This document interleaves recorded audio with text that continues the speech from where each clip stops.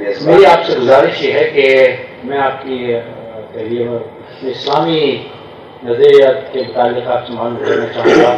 نماز اور روزے کے لیے سکسٹی سیون ڈگری لیٹیچیوڈ میں جو دنیا کا نارتھ کا حصہ ہے، اس میں سورج تقریباً مختلف وقت میں رہتا ہے، کبھی تین مہینے رہتا ہے، کبھی تین مہینے دن رات زیادہ ہوتا ہے۔ اس سلسلے میں روزہ نماز کے لیے کیا اسلام کی رائے ہے۔ جواب بڑا سادہ ہے، ایک بات اصولی طور پہ ذہن میں رکھ لیں حضور السلام نے فرمایا، الدین و یسر دین آسانی کا نام ہے۔ اور آپ نے شاہ فرمایا بوئس تو بالحنیفیت السمح بخاری شریف میں ہے کہ میں آسان، قابل عمل، دین اور ملت لے کے مبوس ہوا۔ اور تیسرا اصول ذہن میں رکھنے فرمایا اللہ یکلف اللہ نفسن اللہ وسعہ اللہ تعالیٰ کسی جان کو یا جانوں کو ان کی وسعت اور استطاعت سے زیادہ تکلیف اور ذمہ داری کا بوجھ نہیں ڈالتا لہذا شرق سے تک دنیا کا کوئی بھی گوشہ ہو، دین پر عمل کرنے میں کہیں دشواری اور مشکل نہیں ہے۔ مشکل صرف اس لیے ہوتی ہے کہ ہمیں خبر نہیں ہوتی کہ دین کا حکم کیا ہے۔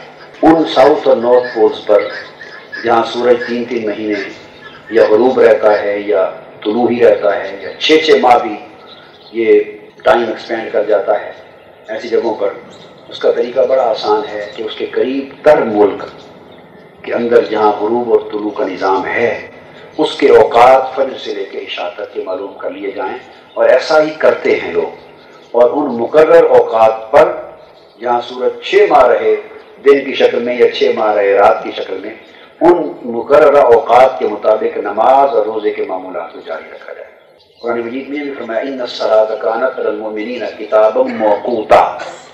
جہاں طلوع اور غروب کے احکام آئے ہیں قرآن مجید میں، وہاں یہ بھی ایک اصولی حکم ہے کہ نمازیں اوقات کے تقرر اور تعین کے ساتھ فرض کی گئی ہیں۔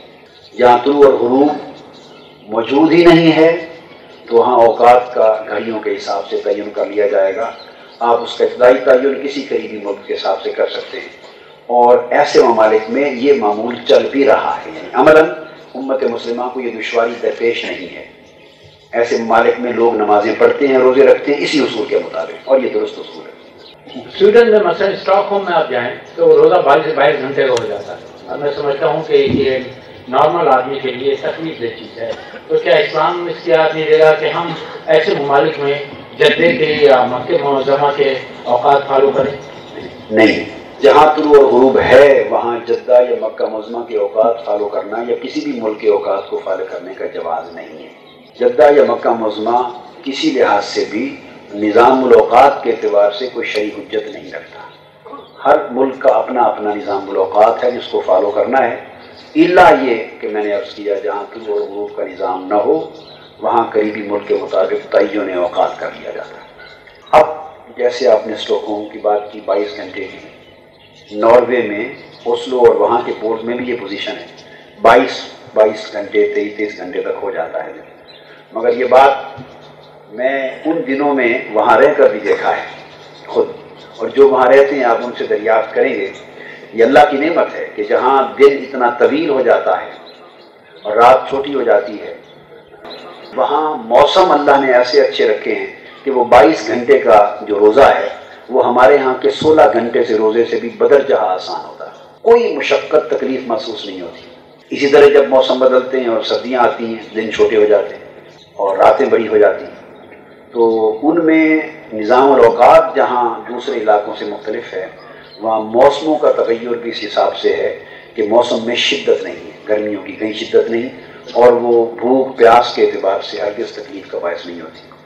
بنیادی تصور وقت کے پیمانے کے زیادہ وسیع اور تنگ ہونے سے کوئی غرض نہیں۔ تصور یہ ہے کہ انسانی جان مشکل میں نہ پڑے۔ موسم اچھا ہو تو وہ بائیس گھنٹے کا روزہ بھی تکلیف نہیں دیتا۔ تو وہ مدعا پورا رہا کہ جان کی طاقت سے زیادہ تکلیف نہیں۔ اور اگر کوئی انڈیویجول بیمار ہے اور وہ اتنے طویل روزہ نہیں رکھ سکتا اپنی بیماری کی وجہ سے، اس کے احکام اللہ اور اللہ کے رسول نے قرآن اور حدیث میں الگ دے دیے۔ بیمار کے احکام الگ دے دیے۔ وہ احکام یہاں بھی فیسلٹی اس کو ہے، وہ فدیہ دے سکتا ہے، قضا کر سکتا ہے، فدیہ دے سکتا ہے اگر دائمی مریض ہے۔ تو وہاں کے لیے بھی اس کو وہ فیسلٹی میسر ہے۔ اور جو صحت مند لوگ ہوں گے، وہ چونکہ وہاں یوز ٹو ہو جاتے ہیں۔ اور جو ویسے بھی، خود ہم میں بھی سفر پہ جاتا رہتا ہوں اور ایسے مواقع آتے ہیں تو وہاں لمبا دن کبھی بھی روزے میں کسی قسم کا پرابلم کا باعث نہیں ہوتا، پتہ بھی نہیں چلتا، ٹھنڈا موسم ہوتا۔ سب سے پہلے نئی ویڈیوز کو حاصل کرنے کے لیے شیخ الاسلام ڈاکٹر محمد طاہر القادری کے آفیشیل یوٹیوب چینل کو سبسکرائب کریں اور بیل آئیکن کلک کریں۔